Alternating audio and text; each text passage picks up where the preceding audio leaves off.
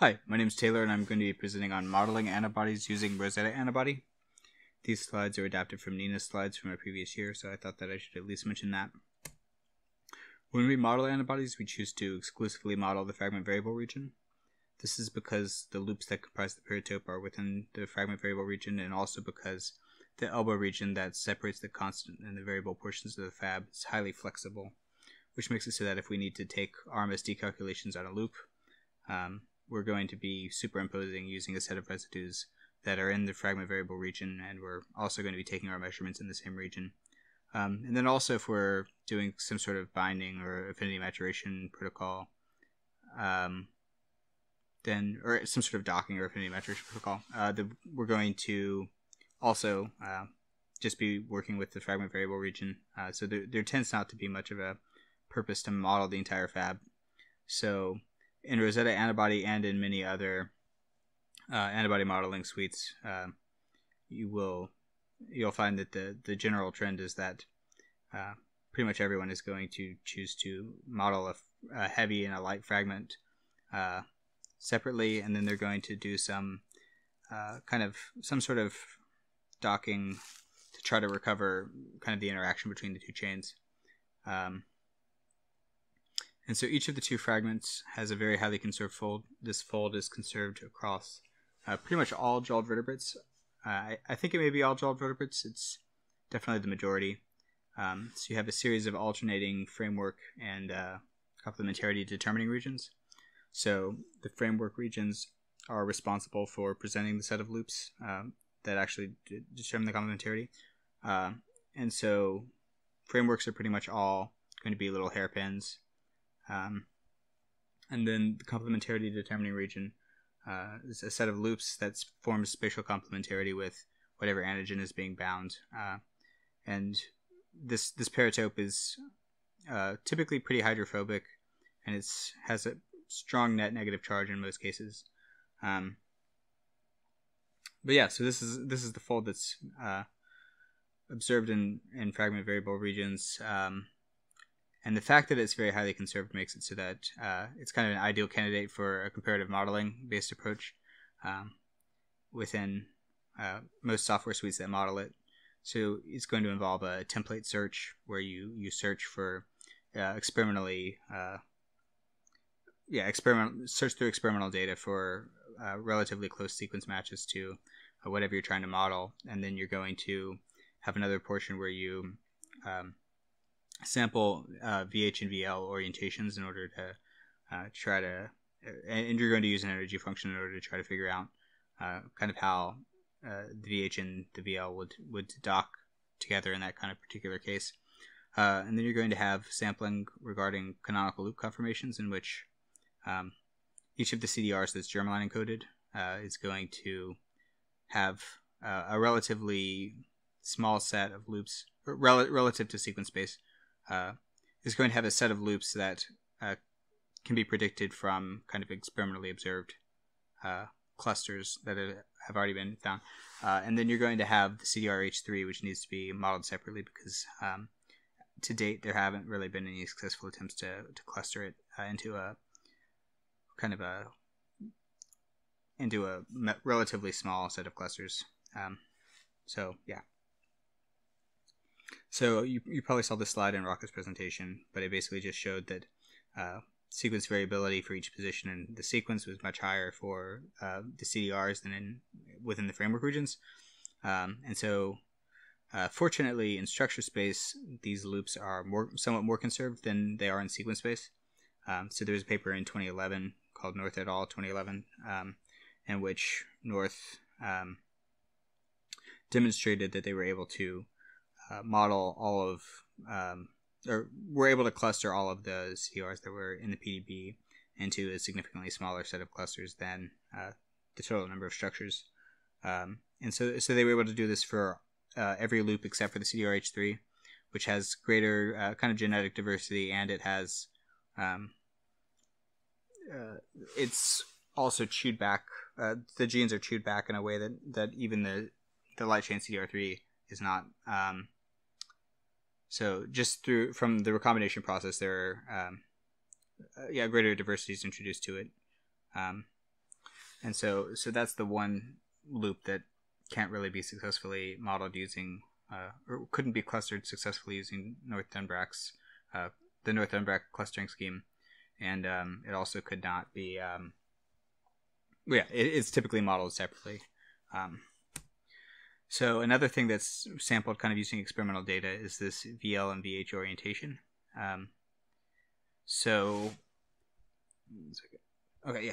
Um, our VH and VL orientations.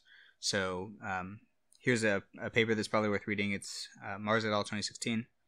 Um, and so in this, they kind of came up with a way of describing um, a set of angles that that that um, demonstrates kind of the interaction between a heavy and a light chain in such a way that you can you can sample each of these four angles in order to uh, yeah in order to kind of attempt a number of experimentally observed uh, yeah uh, interactions between the two chains.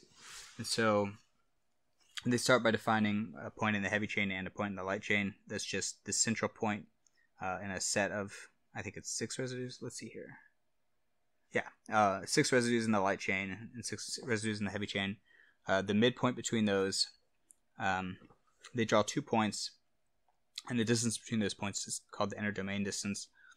Um, and then they draw two more points that are basically the, the first principal component. Principal component uh, when you for each of the six points. Um, so you, you just travel in that direction for a certain a certain distance, um, and so so the the angle between uh, that kind of axis that makes up your interdomain dis- that your interdomain distance is measured along uh, and the angle between that and the and point two makes up your uh, opening angle for each of the chains, um, and then kind of rotation around uh, the axis defined for the interdomain distance. Um, is called the packing angle. And so each of these four uh, values is kind of sampled uh, throughout the throughout a run in Rosetta antibody, um, and so the end result of this sampling is a, a model that has a VH and a VL that are docked as they would be, uh, yeah, in an experimentally derived structure. Um, and so, kind of piecing together the various things that we've talked about so far, uh, we're going to use this figure from the Rosetta antibody paper. Um, and it basically just shows that they're doing two separate uh, uh, structure searches for framework templates that they can use, and then they do the uh, the orientation determination, uh, and then they show uh, that you're grafting uh, the canonical CDRs using experimental data, and then they generate homology models, uh, and then they do a portion where they remodel the CDR H3, um, and then they do some general refinement stuff. Um, and so one one other thing that we should talk about is the CRH3 uh, kind of loop classes. So there are two different types of CDRH3 that you can have. Uh, one of them is called kinked, and then one of them is called extended, or kinked or bulged, and then extended or non-kinked. Um, and so basically, what this is is the last residue of the head um, is going to have an extreme angle, and so uh, you separate CDRH3s into uh, residues that make up the head and residues that make up the torso. So the torso region is the first three and the last four residues of the of the loop, and then the head is just whatever falls between that. Um, and so, um, if you have an extreme angle and the last residue of the of the head, uh, it's classified as kinked, and if not, it's classified as extended.